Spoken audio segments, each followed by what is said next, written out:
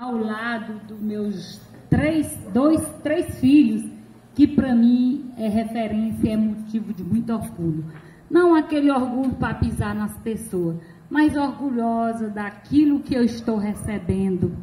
Para mim é motivo assim de sobra para estar feliz.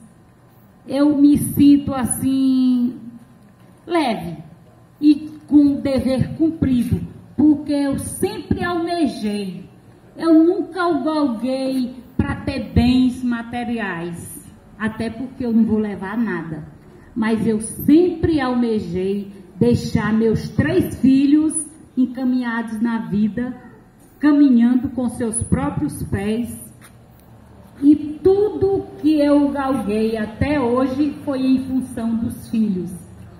E os meninos disseram tudo que eu poderia dizer.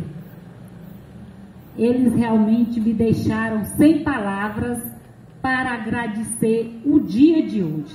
Gente, eu realmente nasci nesse interior e quando eu fui a Teresina pela primeira vez, eu fui no misto. Cheguei lá com a garganta irritada, porque não tinha ar-condicionado, não existia é, asfalto, era carroçal, e uma poeira que sem, sei lá, meu Deus. E outra coisa, a viagem era longa demais. A gente saía daqui sete horas da manhã, chegava três da tarde. Calor terrível. E eu saí daqui com um objetivo.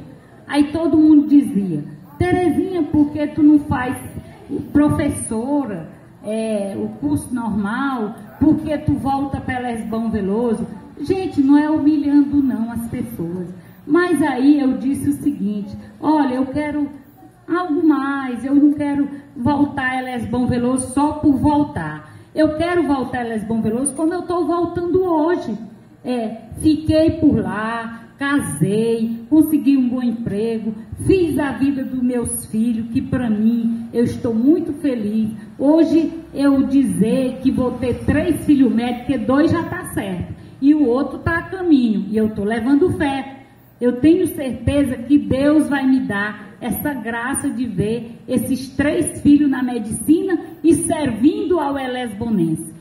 E não só os Elesbonenses, mas quem os procura quem nos procura. Aqui, o Lívio vai atender praticamente a região valenciana, porque hoje, aqui na redondeza, não existe urologista.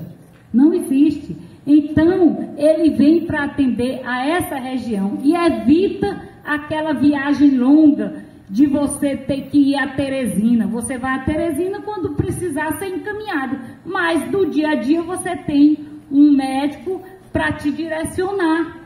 Então, eu queria aproveitar esse momento para agradecer a Deus por essa, esse momento, por ter esses três filhos já servindo ao Elesbonense quem os procura, e agradecer a presença do diácono, que fez um belo sermão, né? E que muito bem nos orientou, explicou qual é o objetivo maior, né? E soube muito bem explicar. E agradecer a vocês que estão acreditando e com certeza Deus está abençoando. Então, meus parabéns, meus filhos, por vocês se projetarem e vencer na vida. Para mim, isso é vencer na vida.